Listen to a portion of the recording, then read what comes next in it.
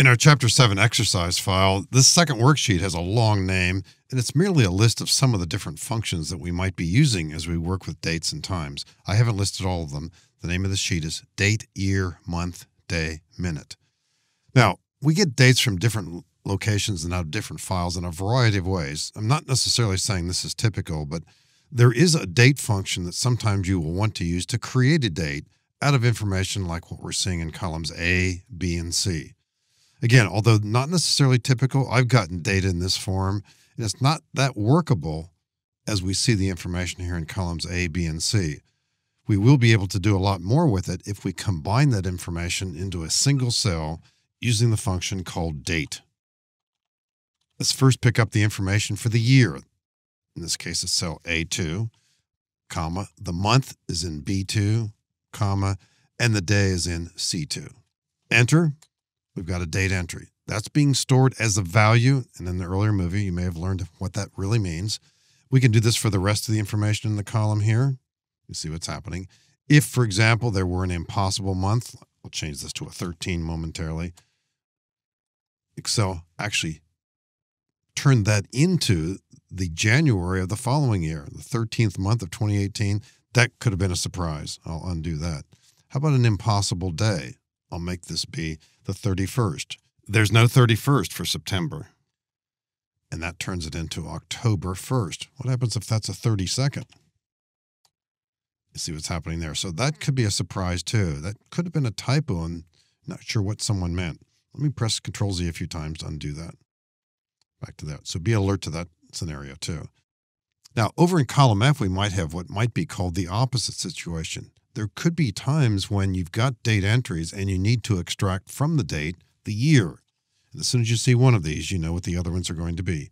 The year of this particular date here is, as expected, 2017. And an H2, month. The month out of there, the seventh month, there it is. And the day. Now, although less likely to be used, there are situations where you'll be using time functions. And here too, it's probably unlikely you would get data in this form, but if you did, you could reconstruct this into a workable time by using a function called time. We'll pick up the hour from cell K2, comma, the minute from cell L2, comma, and the seconds, if present, from cell M2. Enter, and we've got a time. Keep in mind when you do work with times, sometimes you're actually talking about specific times of day. Maybe that's the case. We often would want to see the AM PM displayed. If it refers to a time length, we might want this displayed without the AM PM. So it's worth noting whenever you have a time, think out that issue of whether there should be an AM PM or even a 24 hour style. So pressing Control 1, a quick way to get to format cells. On the number tab, time category. The AM PM display, if you only want minutes and seconds, could be the third choice in 1:30 p.m. Could double click it. There we are. Looks like that. If you wanted this to be a length of time, press Control 1. Use the entry of 13 colon 30. Again, that could be used in a couple of different ways. These other times over here, if they represent times of day, I'll simply drag that lower right hand corner downward a bit displays the information this way. That's 9 p.m. if we're talking about a time of day. If it's time elapsed, it's 21 hours and 55 minutes if we're that kind of a scenario. So we can use these in different ways, but it's important to note how we sometimes need to construct these with a function and then consider how they're being displayed.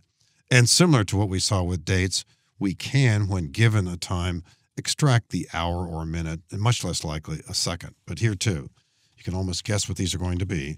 Let's pick the hour out of here we get that entry and minute. And of course, the other entry too. In the same way, second, less likely to be needed, but same idea. So, different techniques here for working with the elements of dates and times using the various functions date, time, year, month, day, hour, minute, second.